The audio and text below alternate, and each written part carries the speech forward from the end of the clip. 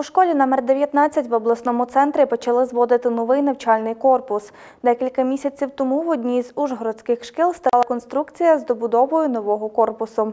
Проєкт зі зведення нового триповерхового навчального блока в ЗОЖ перших-третіх ступенів номер 19 увійшов до президентської програми Володимира Зеленського Велике будівництво.